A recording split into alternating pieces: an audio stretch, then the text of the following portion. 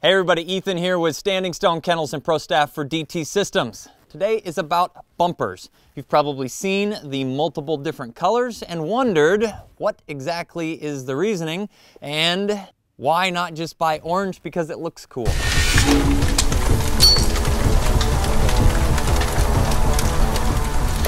We're here to talk about some of the specific uses and why they are different colors in fact. So first and foremost, white bumpers. They're designed to be the most visual. Laying on the ground or anything else, they're high contrast, so they're easy to see.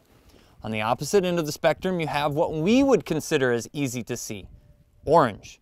This actually falls into the color spectrum that meshes with the ground. Greens and tans are going to actually look very similar to this for a dog. Last, you have a black and white bumper. This is to be the most versatile from a contrast standpoint. So if you are throwing marks, you've got the opportunity to see black and white and black and white as it flies through the air. This is going to be the easiest for dogs to pick out on those longer extended marks. All in all, you really need all three of these colors to train a retriever properly. You have easier to see in the beginning and you can challenge your dog with an orange bumper as you go along. Now you may be thinking, I've already got a whole pile of orange bumpers and my dog's doing well.